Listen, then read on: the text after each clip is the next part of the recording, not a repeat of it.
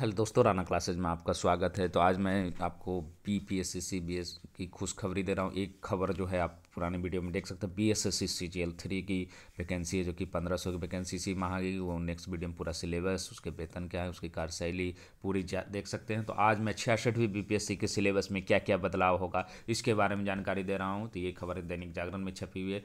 तो क्या B P S सी की सिविल सेवा परीक्षा होगी? Tough U P S C जैसा सिलेबस होगा।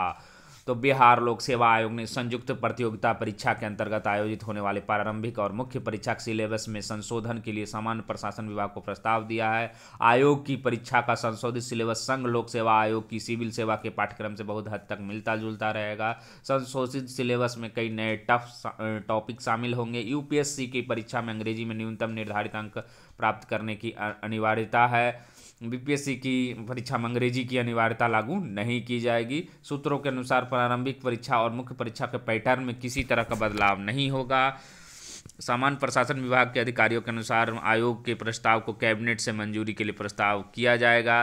मंजूरी प्राप्त होने के पर आयोग को बदलाव करने की स्वीकृति प्रदान कर दी जाएगी। संयुक्त सचिव सह परीक्षा नियंत्रक अमरेंद्र कुमार ने बताया कि संशोधित सिलेबस पर सामान्य प्रशासन विभाग से क्या क्या मार्गदर्शन मांगा क्या क्या शामिल होगा, इस पर अभी कुछ कहा नहीं जा सकता। विभाग से स्वीकृति व अन्य पूरी होने के बाद ही अभ्यर्थियों को आयोग की वेबसाइट पर माध्यम से जानकारी होगी। तो विशेषज्ञों का कहना है कि अन्य राज्य की तुलना में बीपीएससी सिलेबस सामान्य ज्ञान व मुख्य टॉपिक निर्धारित टॉपिक तो थोड़े कम है। इसीलिए राष्ट्रीय और अंतर्राष्ट्रीय टॉपिक्स को जोड़ने की मांग पुरानी है। विशेषज्ञों की कमेटी ने आयोग में सिलेबस में पर्यावरण कंप्यूटर साइंस प्रदूषण, प्रबंधन, अंतर्राष्ट्रीय अर्थव्यवस्था, आपदा प्रबंधन टॉपिक्स को ज़्यादा प्रभावी बनाने की सलाह दी है। एक एग्ज़ाम से दो तैयारी होगी। तो विशेषज्ञों का कहना है संघ राज्य लोक सेवा आयोग के सिलेबस, यूपीएससी की से मिलते जुलते हैं। बिहार में भी दोनों सिलेबस का कम वेश एक समान होते हैं, पर अभ्यर्थियों को दोनों परीक्षा के अतिरिक्त मेहनत नहीं करनी होगी। बीपीएससी के प्रश्न बिहार को प्रभावित करने घटनाओं पीएससी के प्रश्न देश को प्रभावित घटने केंद्रित होंगे। इस फॉर्मूले कम वेश सभी आयोग मानते हैं। तो मतलब क्या है कि आप कह सकते हैं कि इसमें इंग्लिश अनिवार्यता उसमें रहती है, क्योंकि आप सी सेट में देख सकते हैं कि अनिवार्य रहता है बनाने के लिए। तो इसका पैटर्न है जो कि वही रहेगा। आप ये जो सोच रहे हैं कि नेगेटिव मार्किंग नहीं होगी नेगेटिव मार्किंग पैटर्न सेम रहेगा नेगेटिव मार्किंग नहीं होगी, डेढ़ सौ प्रश्न रहेंगे मेंस में भी तीन सौ अंक के ही होंगे। सिर्फ़ सिलेबस के पैटर्न में बदलाव डाला जा रहा है, इसलिए आप लोग एकदम बिल्कुल पीटी और मेंस के सिलेबस में कोई चेंज सिलेबस में थोड़ी बहुत चेंजिंग होगी पैटर्न में चेंजिंग नहीं होगी। इसका मतलब हो गया कि आपको डेढ़ सौ नंबर की पीटी होगी और पाँच ऑप्शन भी नहीं हटेगा। ऐसा लेकिन पाँच ऑप्शन बहुत सारे लोग कह रहे थे कि हट जाएँगे तो काफ़ी फ़ायदा होगा।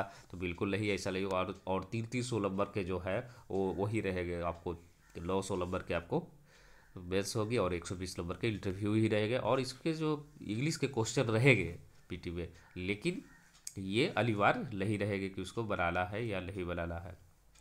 तो निश्चित रूप से ये काफ़ी है जो कि फ़ायदेमंद होगा खासकर जो यूपीएससी की तैयारी करें और छियासठवीं बीपीएससी का विज्ञापन है जो कि अगर जल्द आ जाता तो जैसा कि मैं बार बार कह रहा हूँ कि मार्च दो हज़ार बीस में ही आएगा और है जो कि लगभग जो कि एक से चार के आसपास जो कि पदों की होने की संभावना है क्योंकि बहुत सारे पद में डाल रहा हूँ कभी का, कारा निरीक्षक की तो कभी होमगार्ड अधिकारियों की तो ये सब पद है जो कि अगर इनके पास अधियाचला आ जाती है बीपीएससी के पास तो ज़रूर वैकेंसी एक हज़ार के आसपास ही रहेगी और और इसके और जहाँ तक सिलेबस के बहुत सारे लोग घबराए हुए थे कि पीटी के सिलेबस चेंज हो गए तो ऐसा कुछ नहीं है थोड़ी बहुत उसमें डाली जाएगी, टॉपिक्स डाली जाएगी। सिलेबस मतलब इसे जो देखते हैं कभी कभी रहता है कि अंतर्राष्ट्रीय सब सहायक मुद्दे सिलेबस, उसमें चेंज के लिए प्रस्ताव डाला गया। ना कि पैटर्न में। और अंग्रेज़ी प्रश्न को डालने की तैयारी उम्मीद नहीं है कि ये लागू किया जाएगा, क्योंकि अंग्रेज़ी डालने पर यहाँ विरोध हो सकता है, इसीलिए है जो कि सिर्फ़ सिलेबस के टॉपिक चेंज करेंगे और इससे ज़्यादा कोई विशेष अंतर इसमें नहीं होगा। और बेस के भी सिलेबस में है जो कि थोड़ा बहुत जो पाँच विषयों की थी उसकी चर्चाएँ हैं।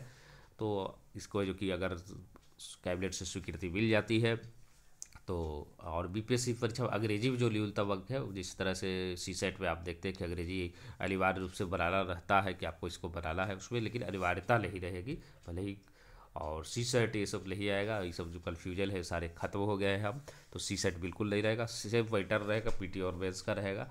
तो आप लोग है जो कि अभी से जो कि तैयारी करें और सेट प्रैक्टिस है जो कि कंटिन्यूस सवेरे शाम है जो कि ज़रूर बनाए।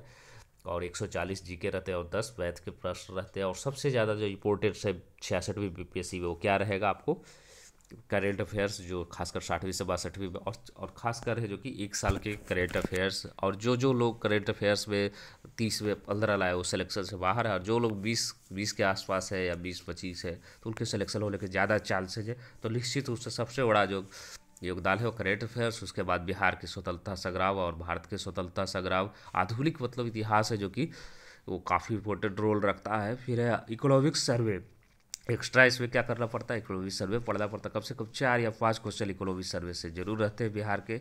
तो ये ही तिल है जो कि एक्स्ट्रा जो है, बाकी तब तो सेव है। आप जितना सेट प्रैक्टिस जितनी तैयारी आपकी अच्छी होती है, जो कि, और कट ऑफ़ है जो कि लगभग, जो कि पंचानवे से सौ के बीच ही गया है, लगभग पाँच या सात बीपीएससी में।